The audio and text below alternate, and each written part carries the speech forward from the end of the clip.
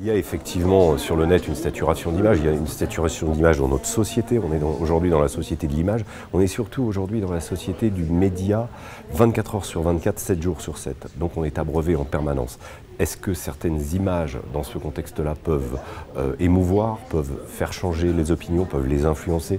Je pense que la démonstration a été faite euh, il n'y a pas très longtemps avec la photo du petit Eliane sur cette plage. Euh, il y a eu aussi des photos dans, cette, euh, ce drame des, réfugiés qui ont surnagé. Tout à coup, on a vu un, homme accroché à ses enfants. Et là, tout à coup, on a compris que euh, eh bien, ça ne s'agissait pas simplement de quelqu'un qui venait économiquement essayer de trouver du travail. Il s'agissait de quelqu'un qui fuyait la guerre. Et ces images-là, tout à coup, elles interpellent parce qu'elles arrivent au milieu d'un flot. Et puis le public se dit là, il y a quelque chose de nouveau, il y a quelque chose de différent, je vais aller creuser, je vais aller fouiller. À nous les journalistes de contextualiser, ça c'est toujours notre travail. Avant, quand les choses étaient plus lentes, plus progressives, c'était peut-être plus facile à faire, mais aujourd'hui c'est aussi notre devoir de le faire, d'expliquer qu'est-ce que sont les images. Et puis aujourd'hui, faites attention surtout aussi à la manipulation, parce qu'il y a beaucoup d'images qui passent, il y a des images très fortes qui sont soit des images d'anciens conflits, qui sont repliées dans des conflits actuels, c'est arrivé, ou des images volontairement interprétées. Il y a une foule d'exemples euh, d'images qui ont été euh, sorties de leur contexte. Euh, je pense en particulier à celle de Kevin Carter en 1977 qui montrait la famine en Afrique. C'est une image très forte. On voyait un enfant à terre avec un, vautour à côté.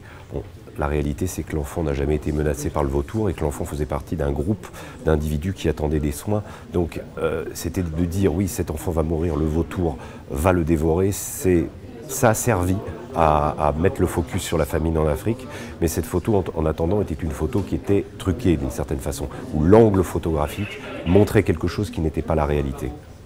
Alors, l'impact sur les décideurs politiques, euh, oui, euh, le petit Elan, évidemment, a eu un impact. Cette photo de cet enfant euh, habillé, propre, il n'y avait pas de sang sur cette photo. Elle était tellement violente parce que justement on avait l'impression qu'il dormait nous a interpellés tous et évidemment a interpellé les décideurs politiques. Cette photo est intervenue en plein pendant le premier jour de la rentrée scolaire en France. Donc le contexte enfant était très important et tout à coup elle nous a explosé au visage et elle a fait réagir évidemment les hommes politiques.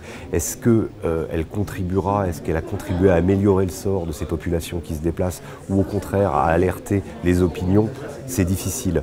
Euh, en attendant, il est clair qu'après l'apparition de cette photo, à la fin de la journée, beaucoup d'hommes politiques, François Hollande, euh, Angela Merkel, James Cameron, euh, se sont dit, euh, David Cameron, pardon, se sont dit, on ne peut plus rester comme ça, il faut qu'on fasse quelque chose, il faut qu'on organise d'une certaine façon cet afflux de réfugiés.